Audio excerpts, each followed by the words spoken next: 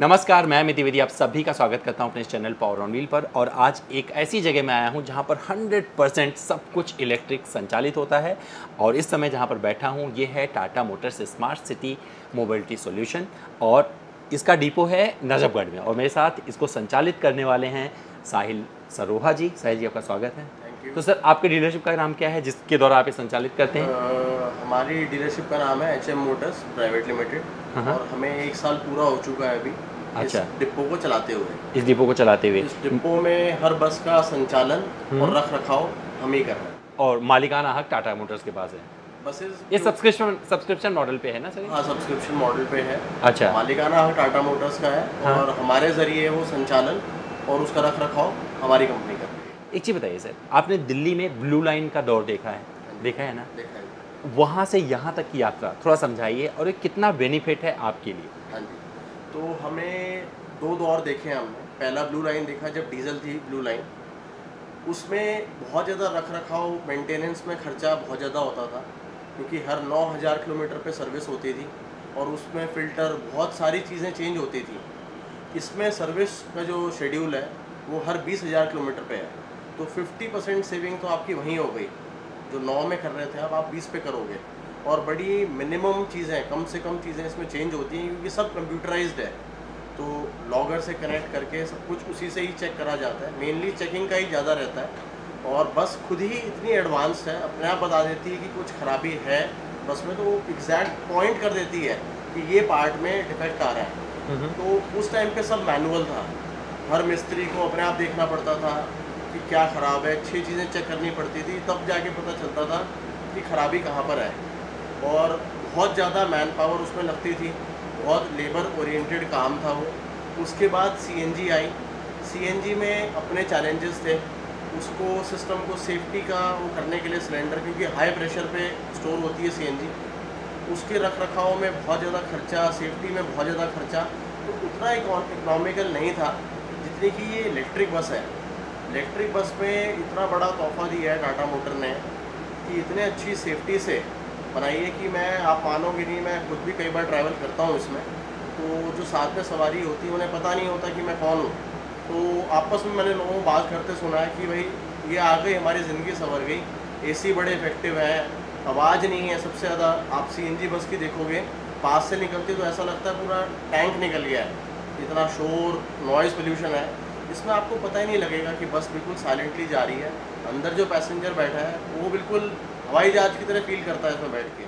कमाई के बारे में अगर जानना चाहूँ तो कितना फ़र्क पड़ा है आपकी कमाई? क्योंकि एक बिज़नेस आपने वो रन किया है जहाँ पर मतलब तीन किलोमीटर का माइलेज दो या तीन किलोमीटर का माइलेज देती थी वो बसें पुरानी वाली जहाँ तक मुझे पता है। तो वहाँ से लेकर यहाँ तक का जो दौर है आपको लगता है कि आप सही जगह बैठे हैं ज़्यादा कमा पा रहे हैं? देखिए कमाई के में ये है कि इसमें मैंने जैसे पहले बताया अभी कि उसमें मैन पावर की बहुत ज़्यादा रिक्वायरमेंट थी वो लेबर ओरिएंटेड था। ये टेक्नोलॉजी ओरिएंटेड काम है। तो कमाई का तो यहीं से ज़रिया हो जाता है। जब आप आदमी पहले सौ बस पे डेढ़ सौ आदमी रखने पड़ते थे अब सौ बस पे अस्सी पचासी आदमी रखने पड़ते हैं।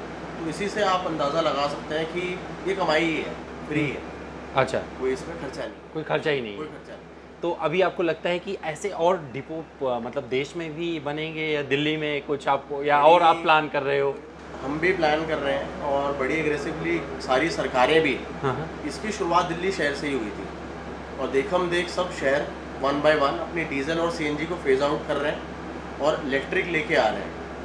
700 गाड़ी यूपी में आ चुकी हैं दिल्ली के बाद बाद।